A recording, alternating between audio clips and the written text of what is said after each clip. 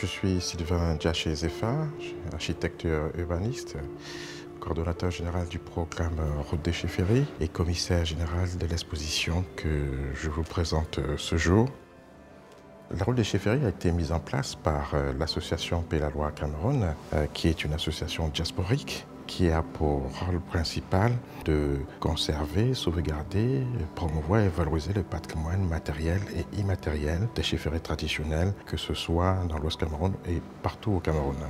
C'est une exposition qui raconte comment est-ce que l'art fait partie intégrante des pratiques sociales et des pratiques culturelles et des pratiques sacrées. Dans cette exposition qui compte plus de 200 œuvres, il y a une bonne partie qui sont encore utilisées soit par les chefs traditionnels, par les notables et par les simples habitants.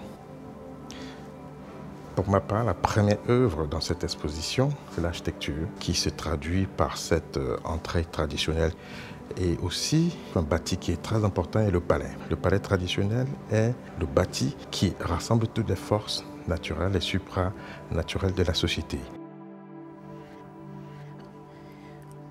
Je suis Rachel Mariembe, commissaire associé. Je suis conservateur, archéologue et muséographe entre l'homme et la nature, on va relever deux aspects très importants. Y a l'aspect de la croyance au pouvoir des plantes et la croyance au pouvoir des animaux.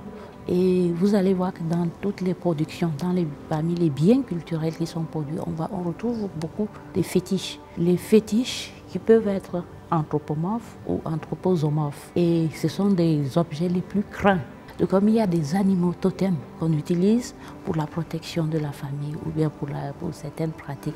À côté de ça, vous avez la basse. Et ici, dans le cadre du totémisme, c'est vraiment le côté euh, soin, pharmacopée qui est, qui est mis en avant.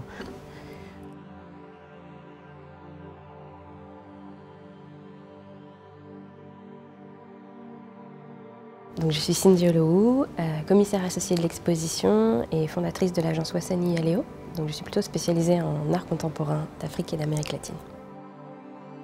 C'est vraiment important pour, pour, nous dès le départ, dès la conception de l'exposition, de présenter des œuvres contemporaines. Ce n'est pas une tradition ou une culture qui est figée dans un passé séculaire, et donc c'était important de montrer ce dialogue et comment les artistes contemporains de la région se nourrissent de ces traditions. Et ici on est dans un espace où on a tout d'abord le totem éléphant euh, géant de Bafou. Il faut savoir que l'éléphant dans les Grassfields est associé à la richesse, l'humilité, la sagesse, donc autant de qualités qu'on veut retrouver chez le roi. Et c'est un, objet qui est tellement chargé et tellement puissant et important qu'il a des, des, notables initiés qui le gardent, qui assurent sa protection et qu'on ne peut pas le toucher. Juste à côté vous avez euh, l'installation d'Hervé Yumbi qui s'appelle Allo Allo et qui fait un peu le lien entre les deux thématiques abordées dans cet espace, le totémisme et le culte des ancêtres. Comment ces deux thématiques euh, dialoguent et ne sont pas forcément spécifiques euh, à la région des Grassfields.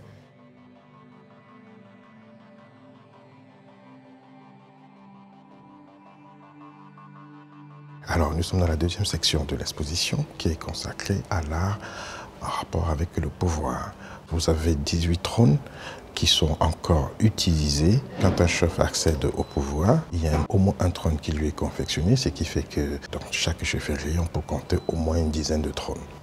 Vous pouvez constater qu'il y a une diversité euh, dans la création de ces trônes. Il y a des trônes en bois, tout simple, il y a des trônes perlés, il y a des trônes corisés.